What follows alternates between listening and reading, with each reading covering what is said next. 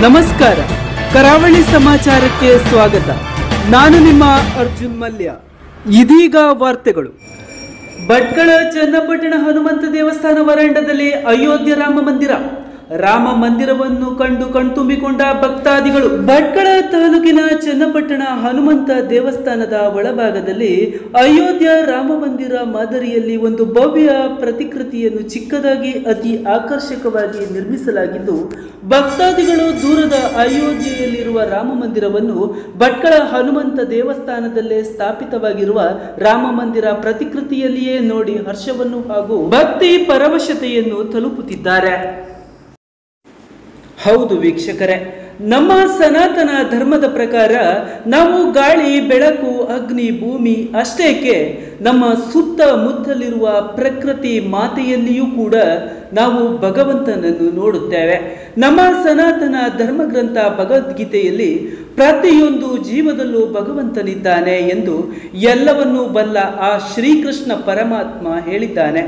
ಇದಕ್ಕೆ ಮಾದರಿ ಎನ್ನುವಂತೆ ಅಯೋಧ್ಯೆಯಲ್ಲಿ ರಾಮ ಮಂದಿರ ನಿರ್ಮಾಣವಾಗಿದೆ. ವೀಕ್ಷಕರೇ ನಾನು ಯಾಕೆ ಇಷ್ಟೆಲ್ಲ ಪೀಠಿಕೆಯನ್ನು ಹಾಕುತ್ತಿದ್ದೇನೆ ಎಂದರೆ ತುಮಕೂರು ಜಿಲ್ಲೆಯ ವಿನಯರಾಮ ಎಂಬ ರಾಮ ಭಕ್ತರೊಬ್ಬರು ರಾಮನ ಹಾಗೂ ರಾಮ ಮಂದಿರದ ಬಗ್ಗೆ ಸಂಪೂರ್ಣ ವಿವರವನ್ನು ದೇಶದಾದ್ಯಂತ ತಿಳಿಸಿಕೊಡುವ ಉದ್ದೇಶದಿಂದ ಉತ್ತರ ಪ್ರದೇಶದ ಅಯೋಧ್ಯೆ ರಾಮ ಮಂದಿರದ ತದ್ರೂಪವಿರುವ ಚಿಕ್ಕ ಹಾಗೂ ಸುಂದರವಾದ ಮರದಿಂದ ಮಾಡಿದ ಮಾದರಿಯನ್ನು ತೆಗೆದುಕೊಂಡು ರಾಜ್ಯ ಹಾಗೂ ದೇಶದಾದ್ಯಂತ ಸಂಚರಿಸುತ್ತಿದ್ದಾರೆ. ಸದ್ಯ ಇವರು ನಮ್ಮ ಭಟ್ಕಳದಲ್ಲಿದ್ದು ತಾಲೂಕಿನ ಪಟ್ಟಣ ಹನುಮಂತ ದೇವಸ್ಥಾನದಲ್ಲಿ ಅಯೋಧ್ಯ ರಾಮ ಮಂದಿರದ ಪ್ರತಿಕೃತಿಯನ್ನು ಸ್ಥಾಪಿಸಿದ್ದಾರೆ.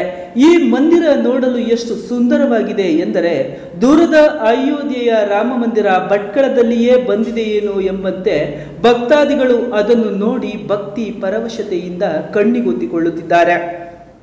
ವೀಕ್ಷಕರೇ ಈ ಬಗ್ಗೆ ರಾಮನ ಭಕ್ತ ವಿನಯರಾಮ ಅವರು ಮಾತನಾಡಿ, ನಮ್ಮ ಉದ್ದೇಶ ಸನಾತನ ಧರ್ಮದ ರಾಮ ಹಾಗೂ ಆತನ ಹಿನ್ನೆಲೆ, ಆತನ ಆದರ್ಶಗಳು ರಾಮ ಮಂದಿರದ ಇತಿಹಾಸ, ಸನಾತನ ಭಾರತದ ಪ್ರತಿಯೊಬ್ಬರಿಗೂ ತಲುಪಬೇಕು ಎನ್ನುವುದಾಗಿದೆ. ಕಾರಣ ನಾವು ರಾಜ್ಯ ಮತ್ತು ದೇಶದಾದ್ಯಂತ ರಾಮ ಮಂದಿರದ ಪ್ರತಿಕೃತಿಯೊಂದಿಗೆ ಸಂಚರಿಸುತ್ತಿದ್ದೇವೆ ಎಂದು ಹೇಳಿದರು. ಎಲ್ಲರಿಗೂ ನಮಸ್ಕಾರ. ನನ್ನ ಹೆಸರು ವಿನಯ್ ರಾಮ್ ಅಂತ ತುಮಕೂರು ಡಿಸ್ಟಿಕ್ ಗುಬ್ಬಿ ತಾಲೂಕು ಬಿದ್ದರೆ ಈ ಅಯೋಧ್ಯೆ ರಾಮ ಮಂದಿರದ ಮಾದರಿಯನ್ನು ಮಾಡಿರೋದ್ರ ಉದ್ದೇಶ ಬಂದ್ಬಿಟ್ಟು ಸನಾತನ ಧರ್ಮದ ಬಗ್ಗೆ ಒಂದು ಜಾಗೃತಿ ಮತ್ತು ಅರಿವು ಮೂಡಿಸಬೇಕು ಅಂತ.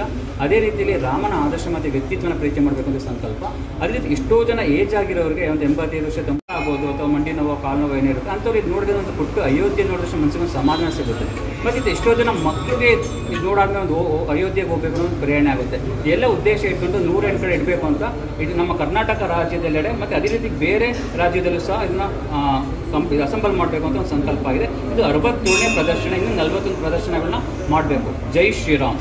ತಾವು ಪ್ರಥಮ ಪ್ರದರ್ಶನ ಎಲ್ಲಿ ಮಾಡಿದ್ರಿ? ಬೆಂಗಳೂರಲ್ಲಿ ಮಾಡಿದ್ವಿ ಸರ್. ಬೆಂಗಳೂರಲ್ಲಿ. ಎಲ್ಲಿ ಬೆಂಗಳೂರಲ್ಲಿ? ಬೆಂಗಳೂರಲ್ಲಿ ಸ್ಕೂಲಲ್ಲಿ ಅಸೆಂಬಲ್ ಮಾಡಿದ್ವಿ ಸ್ಕೂಲಲ್ಲಿ. ಇದು ಎಷ್ಟನೇ ಇದು ಅರವತ್ತೇಳನೇ ಪ್ರದರ್ಶನ. ಅರವತ್ತೇಳು ಬೆಂಗಳೂರಲ್ಲಿ ಮೂವತ್ತಾರು ಆಯಿತು ಕೊಪ್ಪಳ ಆಯಿತು ಅಂಜನಾರಿ ಬೆಟ್ಟ ಮಂತ್ರಾಲಯ ರಾಯರ ಮಠ ಮೈಸೂರು ನಂಜನಗೂಡು ಶೃಂಗೇರಿ ಶಂಕರ ಮಠ. ಶೃಂಗೇರಿ ಶಂಕರ ಮಠದಲ್ಲಿ ಜನವರಿ ಇಪ್ಪತ್ತೆರಡನೇ ತಾರೀಕು ಆ, ಸ್ವಾಮಿಗಳಿಂದ ಇನಾಗ್ರೇಷನ್ ಮಾಡಿಸಿದ್ವಿ. ಅದೇ ರೀತಿ ಹರಿಹರಪುರ ಮಠದಲ್ಲಿ ಪ್ರೆಸೆಂಟ್ ಮಾಡಿದ್ವಿ. ಅದೇ ಶಕಟಾಪುರ ಅಂತ ಬರುತ್ತೆ, ಅಲ್ಲಿ ಪ್ರೆಸೆಂಟ್ ಮಾಡಿದ್ವಿ. ಉಡುಪಿ ಆಯಿತು. ಮತ್ತು ಪಾಜಕ ಅಂತ, ಅಂದರೆ ಮಧ್ವಾಚಾರ್ಯರು ಹುಟ್ಟಿ- ಹುಟ್ಟಿದ ಸ್ಥಳ ಅದು ಪಾಜಕ ಅಂತ. ಅಲ್ಲೂ ಸಹ ಸುಮಾರು ಹನ್ನೆರಡು ದಿನಗಳ ಕಾಲ ಪ್ರೆಸೆಂಟ್ ಮಾಡಿದ್ವಿ. ಅದೇ ರೀತಿಯಲ್ಲಿ ಪಲಿಮಾರು ಮಠ ಪಡುಬಿದ್ರೆ ಅಲ್ಲಿ ವಿದ್ಯಮಾನ್ಯರ ಆರಾಧನೆ ಇತ್ತು. ಅವಾಗ ಪೇಜವರ್ಷಿಗಳಿಗೆ ಅರವತ್ತನೇ ವರ್ಷ ಅಂತ ಹೇಳ್ಬಿಟ್ಟು ಅವರಿಗೆ ಒಂದು ಕಲಿಮಾರು ಸ್ವಾಮಿಗಳಿಗೆ ಸನ್ಮಾನ ಮಾಡೋದು. ಅವಾಗ ಅವರು ಕಲಿಮಾರು ಸ್ವಾಮಿಗಳು ವಿಶ್ವಪ್ರಸನ್ನ ತೀರ್ಥರಿಗೆ ಒಂದು ಚಿನ್ನದ ಒಂದು ಅಯೋಧ್ಯ ರಾಮಂತ ಮಾಡೆಲ್ನ ಪ್ರೆಸೆಂಟ್ ಮಾಡಿದಂಥ ದಿನ. ಆಮೇಲೆ ಆನೆಗುಡ್ಡ ದೇವಸ್ಥಾನದಲ್ಲಿ ಮಾಡಿದೆ. ಆನೆಗುಡ್ಡ ದೇವಸ್ಥಾನ ತುಂಬ ಚೆನ್ನಾಗಾಯಿತು. ಆಮೇಲೆ ಚಂಡಿಕಾ ದುರ್ಗಾ ಪರಮೇಶ್ವರಿ ಆಯಿತು. ಅಲ್ಲಿಂದ ಈಗ ಈಗ ಇಲ್ಲಿ ಎಷ್ಟು ದಿನ ಪ್ರದರ್ಶನ ನೆಕ್ಸ್ಟ್ ಶನಿವಾರ ತನಕ ಇರುತ್ತೆ. ನೆಕ್ಸ್ಟ್ ಶನಿವಾರ. ನೆಕ್ಸ್ಟ್ ಶನಿವಾರ. ಟ್ವೆಂಟಿ ಸೆಕೆಂಡ್ ತನಕ ಇರುತ್ತೆ. ಎಲ್ಲ ಕಡೆ ಎಂಟು ಏಳು ದಿನ ಅಂತ ಪ್ರೆಸೆಂಟ್ ಮಾಡ್ತೀನಿ. ಅಂದರೆ ಒಂದು ವಾರ ಅನ್ನೋ ಉದ್ದೇಶ ಬಂದ್ಬಿಟ್ಟು ಪ್ರತಿಯೊಬ್ಬರಿಗೂ ತಲುಪುತ್ತೆ. ಅಂದರೆ ದೇವಸ್ಥಾನಕ್ಕೆ ವಾರಕ್ಕೊಂದು ದಿನ ಬರೋರು ಇರ್ತಾರೆ. ಅದರಿಂದ ಒಂದು ವಾರ ಅನ್ನೋದ್ರಿಂದ ಪ್ರತಿಯೊಬ್ಬರು ಜನಗಳಿಗೆ ತಲುಪುತ್ತೆ ಅನ್ನೋ ಉದ್ದೇಶ- ಉದ್ದೇಶದಿಂದ ಏಳು ದಿನ ಅಂತ ಮಾಡ್ತೀವಿ. ಇವು ಕರ್ನಾಟಕ ಕವರ್ ಮಾಡಿಕೊಂಡು ಎಲ್ಲ ಕಡೆ ಪ್ರದರ್ಶನ ಮಾಡಿ ಅಂತರ್ ರಾಜ್ಯಕ್ಕೂ ಇದ್ದೀವಿ. ಇದೆ ಇದೆ ಇದೆ. ಅದು ಅದು ಪರ್ಮಿಷನ್ ಬಂದಿದೆ ಅಲ್ಲ. ತೆಲಂಗಾಣ ಇದೆ ಆಂಧ್ರ ಇದೆ. ಮತ್ತೆ ಚೆನ್ನೈ ಇದೆ. ಸುಮಾರು ಕಡೆ ಪರ್ಮಿಷನ್ ಸದ್ಯಕ್ಕೆಲ್ಲ ಹಂಗೆ ಹೋಗೋಕ್ಕಾಗಲ್ಲ. ಬಟ್ ನಾವೊಂದು ಕವರೇಜ್ ಕವರ್ ಮಾಡ್ತಾ ಹೋಗ್ಬೇಕು ಒಂದು ಏರಿಯಾ ವೈಸ್ ಸ್ಟೇಟ್ ವೈಸ್ ನಿಮ್ಮ ಉದ್ದೇಶ ಅಂತ ಹೇಳಿದ್ರೆ ಸನಾತನ ಧರ್ಮದ ಬಗ್ಗೆ ಒಂದು ಜಾಗೃತಿ ಮೂಡಿಸುವುದು ಮತ್ತು ರಾಮ ಮಂದಿರದ ಬಗ್ಗೆ ರಾಮನ ಪರಿಚಯ. ಪರಿಚಯ ಪರಿಚಯ. ಮಾಡಿಸಿ. ಆದರ್ಶ ಹೆಂಗಿತ್ತು ಒಂದು ವ್ಯಕ್ತಿತ್ವ ಹೆಂಗಿತ್ತು, ಒಂದು ಸರಳ ಸ್ವಭಾವ ಆಗಿರ್ಬೋದು, ಅವನೊಂದು ಸಹನೆ ಆಗಿರ್ಬೋದು ಸುಮಾರು ಐದು ನಂತರ ತನ್ನ ಜಾಗಕ್ಕೆ ಬರೋಕ್ಕೋಸ್ಕರ ಸುಮಾರು ಐನೂರು ವರ್ಷ ಕಾಯ್ದಿದ್ದು ತನ್ನ ಜಾಗಕ್ಕೆ ಬಂದಿದ್ದಾರೆ. ಅದೇ ನಾವು ಬೆಳಗ್ಗೆ ಒಂದು ಒಂದು ಹತ್ತು ನಿಮಿಷ, ಐದು ನಿಮಿಷ ಕಾಫಿನೋ ತಿಂಡಿನ ಲೇಟ್ ಆಯ್ತು ಅಂದರೆ ಸುಮ್ಮನೆ ಕೋಪ ಮಾಡ್ಕೊಂತೀವಿ. ಅವನು ಐನೂರು ವರ್ಷ ತಾಳ್ಮೆಯಿಂದ ಇತ್ತು. ತನ್ನ ಜಾಗಕ್ಕೆ ಬಂದೇನೆ ಅವನಲ್ಲಿರೋ ಒಂದು ಸಹನೆ ಇಷ್ಟಿರ್ಬೋದು ಸಹನಾ ಮೂರ್ತಿ ಅಂತ ಹೇಳ್ಬೋದು. ಮತ್ತೆ ಅವನಿಗೆ ರಾಜ್ಯ ಆದರೂ ಅಷ್ಟೇ, ವನ ಆದರೂ ಅಷ್ಟೇ, ಒಂದು ಸಮಸ್ಥಿತಿ.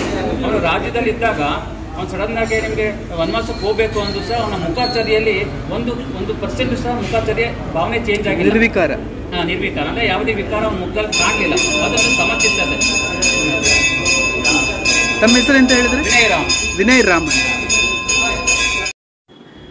ಆತ್ಮೀಯ ವೀಕ್ಷಕರೇ ನಮ್ಮ ಸನಾತನ ಧರ್ಮ ಪರೋಪಕಾರಂ ಇದಂ ಶರೀರಂ ಎಂದು ಹೇಳುತ್ತದೆ. ನಮ್ಮ ರಾಮ ಭಕ್ತರಾದ ವಿನಯ ರಾಮರು ಕೂಡ ಇದೇ ಕೆಲಸವನ್ನು ಮಾಡುತ್ತಿದ್ದಾರೆ. ಇವರ ಈ ದೇವರ ಕೆಲಸಕ್ಕೆ ಮರ್ಯಾದ ಪುರುಷೋತ್ತಮನಾದ ಶ್ರೀರಾಮಚಂದ್ರ ಪರಮಾತ್ಮನು ಸಾಕ್ಷಾತ್ ಬಂದು ಸಹಾಯ ಮಾಡಲಿ ಎಂದು ನಮ್ಮ ಕರಾವಳಿ ಸಮಾಚಾರವು ಹಾರೈಸುತ್ತದೆ. ಕರಾವಳಿ ಸಮಾಚಾರ ನ್ಯೂಸ್ ಬ್ಯೂರೋ.